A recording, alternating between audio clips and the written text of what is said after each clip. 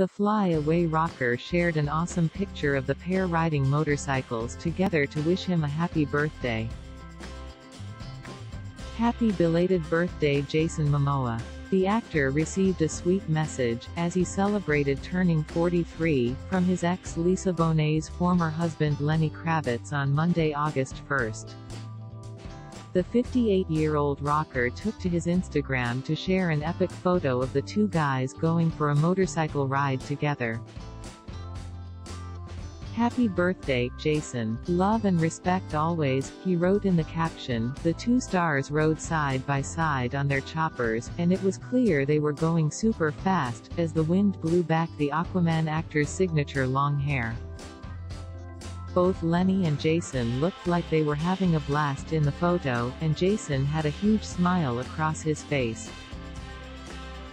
Ahead of his big day, Jason had told fans his only wish for his birthday was that they would support Be The Match, a marrow donor nonprofit, which helps connect patients who need blood stem cells or marrow to potential donors.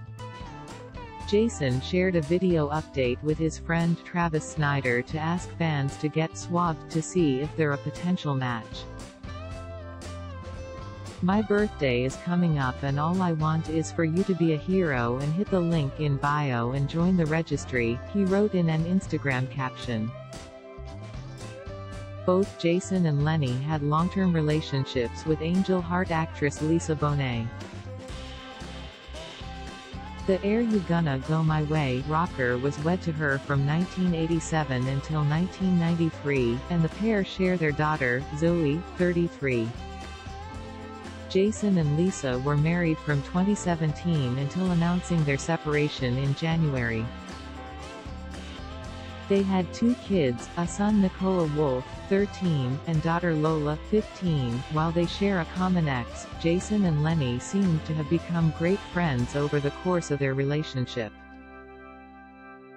Jason has clearly been a supportive stepdad to Zoe, attending premiere events for the actress's movies, such as The Batman back in March. Jason and Lenny seem to have found a bromance throughout their time knowing each other, and the rock star shared a photo of himself and the Justice League star going for a motorcycle ride together back in March. Lenny said that they were brothers for life, in that caption.